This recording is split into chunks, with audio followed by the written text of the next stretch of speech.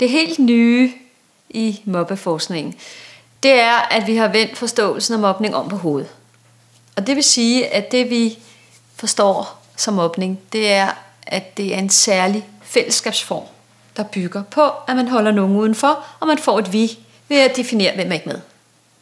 Det er nyt, fordi, og i virkeligheden den gamle mobbeforståelse er vendt om på hovedet, fordi før i tiden, der forstod man mobning ud fra det, man kunne se på mobbescenen, kunne man sige. Og det var, at der var en udøver, som man fandt meget aggressiv og egoistisk og stærk, og så var der en offer, som man fandt meget svag og undselig. Og det var så sammenstødet mellem den stærke, ondskabsfulde, aggressive og den svage, undselig, og det var så det, der var mobningen. Og så kunne det jo godt se ud, når man lige går ind på mobbescenen. Men det vi så har gjort nu, det er, at vi ligesom prøver at skrue filmen lidt tilbage og sige, mm, hvad skete der egentlig, inden den scene etablerede sig?